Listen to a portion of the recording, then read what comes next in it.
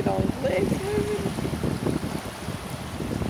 Oh yeah, that'll freak Angie out.